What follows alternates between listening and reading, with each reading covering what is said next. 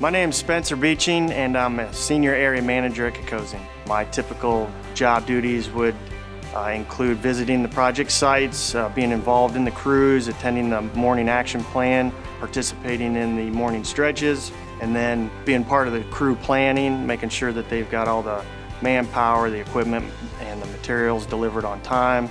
I also am involved in the safety planning and safety processes. Safety is 24-7. Whether we're at work or at home, we're always being safety conscious and identifying hazards and eliminating those hazards. Uh, a self-performing contractor does not hire a lot of subcontractors, so on a day-to-day -day basis, our field engineers, our project engineers, and our managers deal directly with the craft forces that are physically putting the work in place. Kokosing recently completed a $300 million coke manufacturing and cogeneration facility.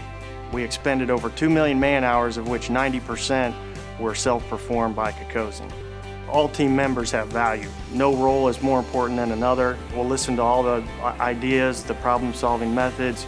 We'll choose the best one, and that's what makes us great.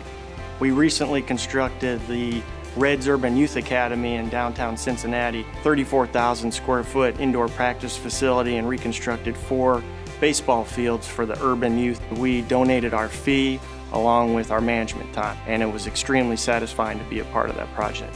I've worked for Kokosing for 21 years because the company takes care of me and my family.